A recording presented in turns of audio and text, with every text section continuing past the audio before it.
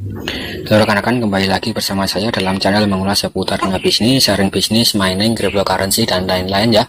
Terkhusus mengenai Pi Network ya. Dan di sini saya akan ada update lagi mengenai Pi Network. Silahkan disimak informasinya.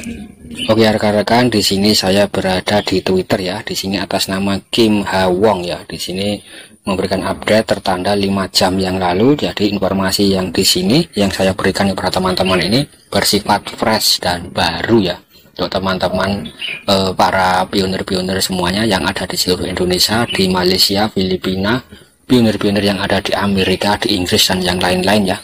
Di sini saya ingin berbagi update informasi mengenai Pi Network dan di sini informasinya saya ambil dari Twitter ya teman-teman. Di sini informasi datang atas nama Kim Ha Wong ya. Mungkin ini berasal dari negeri Cina atau Hong Kong ya. Di sini memberikan suatu argumen atau memberikan suatu tweet ya teman-teman. E, mengenai Pi Network yaitu alasan putus sekolah perintis untuk memulai kembali. Pi akan menjadi mata uang dunia. Tidak ada yang lain yang memiliki rencana untuk itu. Penggunaannya mencakup barter DeFi Metaverse NFT kontrak pintar atau smart kontrak ya. Game Web3 membuat Pi kuat bisnis besar akan dipaksa untuk mengadopsi karena basis pengguna dan kegunaannya yang besar.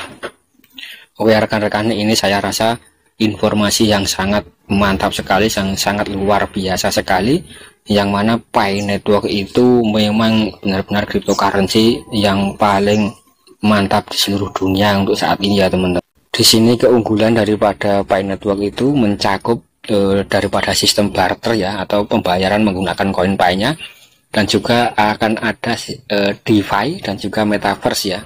Dan juga ada NFT dan ada smart kontrak atau kontrak pintar. Kemudian juga ada game di dalam uh, blockchain atau di dalam uh, aplikasi Pi Network ya. Dan juga ada Web3 yang membuat Pi semakin kuat.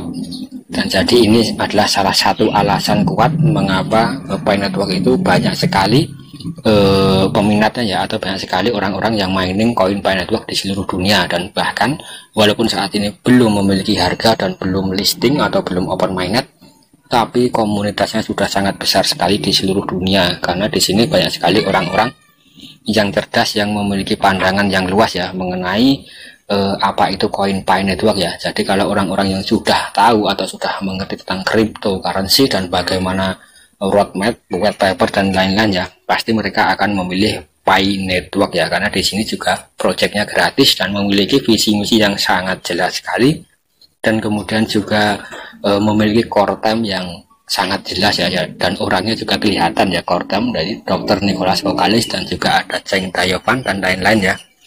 Jadi di sini e, project daripada Pi Network itu sangat jelas dan nyata sekali ya. Di sini e, saya rasa untuk alasan yang ini uh, sudah cukup ya untuk kita uh, menunggu daripada koin Pi Network itu listing atau kita percaya bahwa koin uh, koin Pi Network itu benar-benar nyata ya. Karena di sini uh, projectnya sangat banyak sekali men mencangkup daripada ada Web3, DeFi, Metaverse, NFT, Web3 ya. Dan ini sangat mantap sekali ya